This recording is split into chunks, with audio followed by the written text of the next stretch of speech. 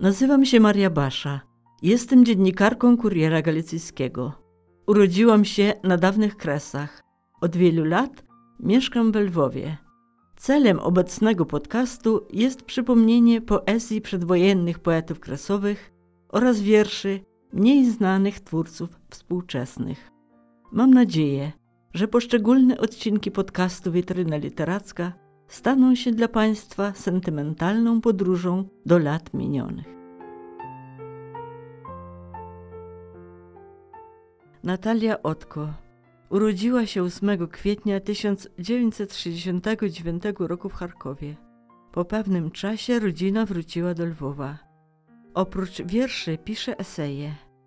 Debiutowała w 1997 roku zbiorem Jestem.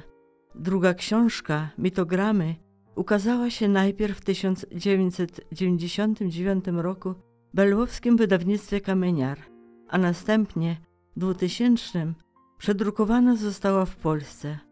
W 2005 roku ukazał się we Lwowie tom Słowa dla wiary i fletu. Ponadto utwory poetki ukazywały się w pismach i antologiach, między innymi Warszawskie Skrzyżowanie. Wiersze Natalii Otko mocno związane są z historią, architekturą, ludźmi i teraźniejszością jej rodzinnego miasta. Natalia Otko, odpoczynek.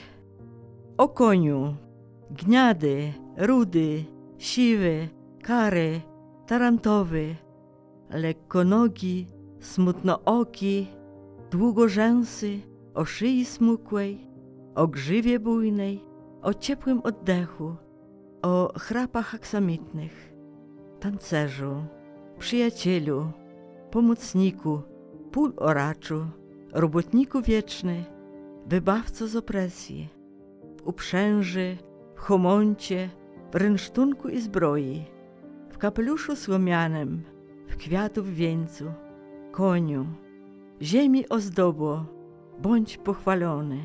Przez kwitnące jabłonie oglądam szlachetną Twą postać, oknie pałacu leżącą i rzeźbiarzowi dziękuję, że dał Ci spoczywać w miejscu wysokim i pięknym.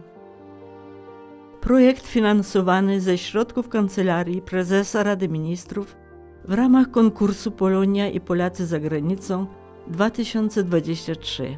Projekt Polska Platforma Medialna Ukraina 2023-2025 realizowany przez Fundację Wolność i Demokracja. Publikacja виражає лише погляди авторів і не може бути ідентифікована з офіційною позицією Канцелярії прем'єр-міністра Польщі і Фонду Свобода і Демократія.